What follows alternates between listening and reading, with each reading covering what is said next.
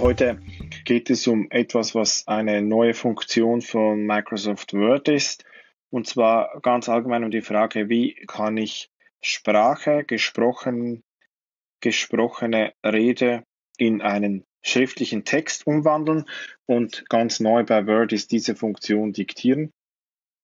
Ich klicke da mal drauf ähm, und jetzt ähm, rede ich einfach mal weiter und schaue, was passiert. Und tatsächlich Word beginnt jetzt das, was ich sage, direkt in Sätze umzuformulieren. Punkt. Jetzt, Komma, mit einem kleinen Einschub, Komma, kann ich auch Satzzeichen einfügen, Punkt.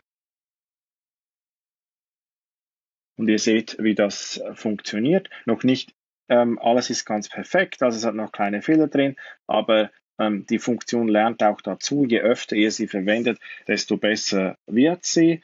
Und ich kann jetzt auch recht schnell sprechen und ich denke, das ist eigentlich ganz brauchbar, was jetzt hier Word macht. Also das ist der einfache Fall. Ihr redet irgendwo rein und möchtet, dass so ein Word-Dokument entsteht. Ich denke gerade auch für Schülerinnen und Schüler, die vielleicht mit der Rechtschreibung nicht so sicher sind, ist dieses neue Feature von Word recht gut brauchbar.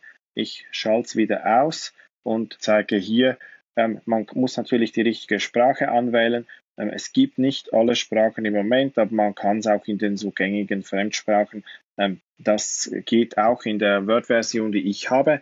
Ich habe Word kürzlich aktualisiert und dann war diese Funktion da. Also ich zeige noch kurz, welche Version ich habe.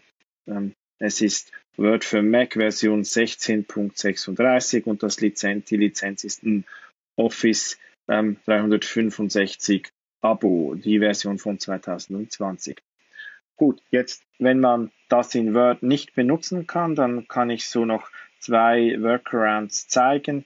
Ähm, und dazu wechsle ich kurz auf mein mobiles Gerät, weil es dort natürlich recht einfach geht. Also ich öffne jetzt einfach die Notizbuch-App und versuche jetzt ähm, hier was zu schreiben.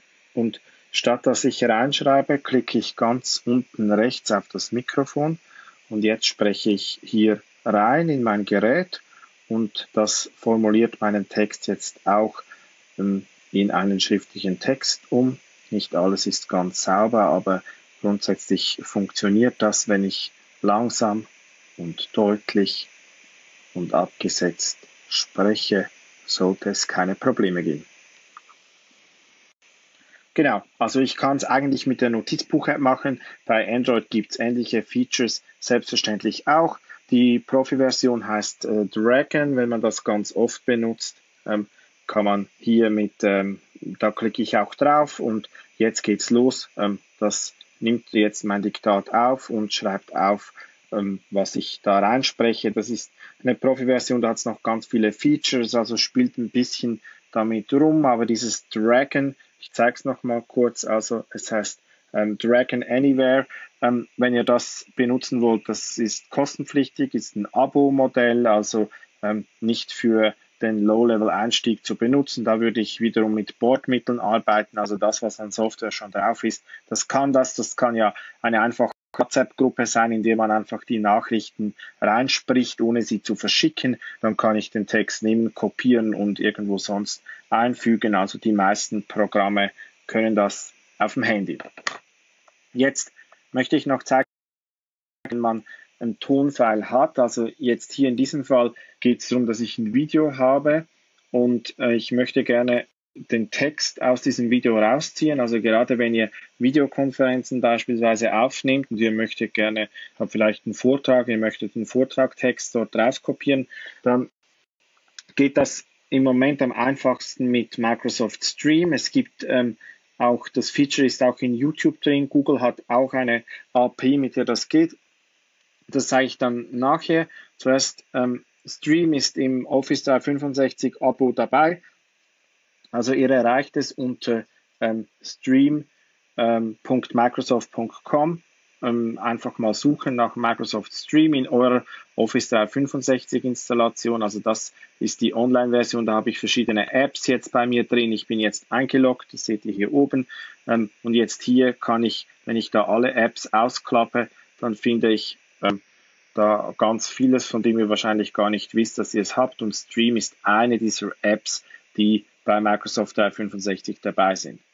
Stream ist die Idee, dass ich in meinem Unternehmen Videos hochladen kann und gerade im schulischen Kontext ist sehr cool daran, Schülerinnen und Schüler können das nicht runterladen. Ähm, ich kann auch bestimmen, dass es nur einzelne Klassen sehen können. Also ich habe recht gute Kontrolle über die, diese Videoinhalte. Gerade gibt viele Lehrpersonen, die lieber Dinge nicht auf YouTube laden möchten, die nur für eine Klasse gedacht sind und da ist Stream optimal, wenn ihr eine Teams-Installation habt oder Office 365.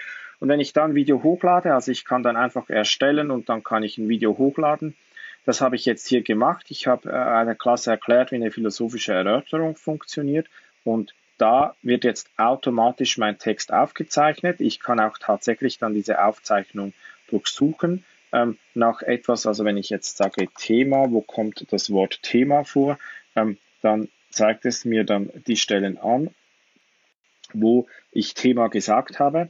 Ähm, ich habe ähm, Schweizerdeutsch gesprochen, Dialekt in diesem Video, deshalb ist die Transkription nicht so ganz ideal, ähm, aber grundsätzlich äh, funktioniert das sehr gut. Es ähm, hat noch coolere Features. Ich zeige noch etwas kurz, wenn ich mir einen Exkurs erlauben darf. Normalerweise ähm, bin ich im Unterrichtszimmer immer so in dem Modus, wo ich noch über Dinge spreche, die vielleicht gar nicht so direkt da hingehören und ähm, erlaube mir das deshalb jetzt hier noch zu machen.